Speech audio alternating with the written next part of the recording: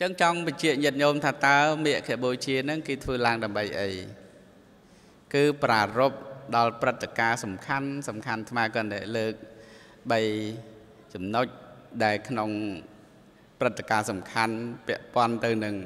ព្រះសម្មាសម្ពុទ្ធនោះទី1គឺជាថ្ងៃដែលព្រះសម្មាសម្ពុទ្ធព្រះអង្គសម្ដែងអវាទបដិមោកអ វាទបដិមោកនេះគឺជាកម្រងកម្រងធរបើកម្រងកម្រងក្រិតក្រមធម្មជាតិដែលបានសម្ដែងដោយព្រះដមិតវិភាកហ្នឹងគឺដោយមានឃ្លាថាសាពបបស្សករណੰកុសលសោបសម្បទាសច្ចតបរិយោតបណੰអេតាំងពុទ្ធានសាសនੰ មិនតែប៉ុណ្្នឹងទេមានច្រើនជាងនឹងប៉ុន្តែអាត្មាក៏នៅលើកមកខ្លីថាព្រះសម្មាសម្ពុទ្ធព្រះអង្គហាមមិនឲ្យសត្វលោកនោះធ្វើអំពើបាប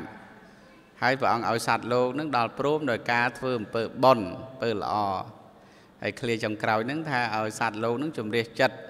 របស់ខ្លួននឹងឲ្យផោផង់ហើយទាំងហ្នឹងពាក្យប៉ុណ្ណឹងគឺជាពាក្យដែលពុទ្ធព្រះអង្គសម្ដែងគ្រប់អង្គក្នុង សម័យកាលដែលពុទ្ធត្រាស់ដឹងពុទ្ធមុនមុនក្តីពុទ្ធបច្ចុប្បន្នព្រះសមណគោតមនឹងតទៅព្រះសាមេត្រី ហើយនឹងផាត់កັບក្រោយក្រោយទៀតកັບក្រោយក្រោយទៀតមានពុទ្ធត្រាស់ដឹង គឺអវ៉ានបដិមោតហ្នឹងគឺពុទ្ធសំដែងគ្រប់គ្រប់អង្គទាំងអស់បងនឹងចំណុចមួយចំណុចទី2គឺជាថ្ងៃដែលព្រះដ៏មានវិភាកធ្វើសន្និបាតសង្ឃបងគេហៅថាចតរង្គសន្និបាត គឺការប្រជុំប្រជុំដែលប្រកបដោយអង្គ4គឺមានតែម្ដងគត់នៅក្នុងពុទ្ធសាសនាចំថ្ងៃ15កើតខែមិញហ្នឹងបងថ្ងៃ15កើតខែមិញហ្នឹងអវានបាតមកក៏ថ្ងៃ15កើតខែមិញហើយការប្រជុំប្រកបដោយអង្គ4ដែលយើងហៅថាចតរង្គសន្និបាតក៏ចំ15កើតពេញបរមីខែមិញដែលថាមហាសន្និបាតប្រជុំប្រកបដោយអង្គ4នោះទី1ប្រច័នពេញវង ថ្ងៃ15កើតណាញោមប្រច័នពេញវងទី1ទី2ព្រះរហន្ត1250អង្គហ្នឹងលោកមកជុំគ្នានៅថ្ងៃហ្នឹងនៅវត្តវេលវ័នកលន្តកនិវាបស្ថានហ្នឹងគឺលោកអត់បានណាត់គ្នាទេស្រាប់មកពីនោះពីនេះពីនោះពីនេះមកស្រាប់ទៅជុំគ្នា1250អង្គនៅវត្តហ្នឹងអត់បានណាត់គ្នាទេនឹងជាអង្គទី2បងអស់ចាមែនទែនបងស្រាប់តែជុំគ្នាល្អចំថ្ងៃហ្នឹង ទាំង1250អង្គទី3លោកទាំង1250អង្គហ្នឹងអត់មានអង្គណាជាសោតាបានទេអត់មានអង្គណាជាសកតិទេអត់មានអង្គណាជាអនាគាទេគឺសុទ្ធតែព្រះរហន្តទាំងអស់ឲ្យរហង្គ1250អង្គហ្នឹងនៅពេញវត្តវេលវ័នកលន្តកានិវាបស្ថាននេះគឺជាអង្គទី3 ហើយអង្គទី4គឺភិក្ខុទាំងអស់នោះសុទ្ធតែជាភិក្ខុអេហិភិក្ខុបាទនឹងមិនបានបួសដោយការសូត្រញត្តិក្នុងវិន័យនោះទេ គឺថាដោយការដោយការដែលព្រះអង្គទ្រង់មានពុទ្ធិកាថាអ្នកចូលជាភិក្ខុតែប៉ុណ្ណឹងស្រាប់តែបាតជីវរអីប្រកបហ្នឹងលោកហៅថាអេហិភិក្ខុឧបសម្បទាអេហិភិក្ខុឧបសម្បទាអញ្ចឹងទី1ប្រច័នពេញវងទី2 ព្រះ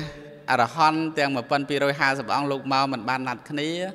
ទី3លោកទាំងអស់នោះសិតតែជាព្រះខេណាស្របមិនមែនមិនមានភិក្ខុអង្គណាជាសោតាជាបទុជន ជាសកតិអនាគាហើយទី4លោកទាំងអស់នោះសិតតែជាអេហិភិក្ខុទាំង4ហ្នឹងលោកហៅថាចតរង្គៈចតរង្គៈគឺចតរង្គៈសន្និបាតមានន័យការប្រជុំដែលប្រកបដោយអង្គ4ដូចបានលើកឡើងខាងដើមហ្នឹងចឹងការដែលប្រជុំប្រជុំប្រកបដោយអង្គ4 ដែលហៅថាចតុរង្គសន្និបាតហ្នឹងគឺក្នុងពុទ្ធសាសនាហ្នឹងគឺមានតែម្ដងគត់ហើយចំថ្ងៃ15កើតពេញបរមីខែមិញហ្នឹងឯងចំណុចទី3ចំណុចដ៏សំខាន់គឺថ្ងៃ15កើតពេញបរមីខែមិញហ្នឹងគឺជាថ្ងៃដែលព្រះដ៏មានពភាកដាក់នៅបជនមាយុសង្ខាចំពោះមុខមេមានចិត្តបាប នៅថ្ងៃ15កើតខែពិសាថ្ងៃដែលព្រះអង្គត្រាស់ដឹងក៏មានមកអារាធនាដែរប៉ុន្តែព្រះរាមាវិភាព្រះអង្គមានពុទ្ធិកាថាចាំតថាគតបដោះបង្រៀនសាវកតថាគតនឹងឲ្យចេះដឹងធម៌វិន័យសិនហ្នឹងហើយហើយត្រាស់ដឹងហើយបាន45ព្រះវស្សា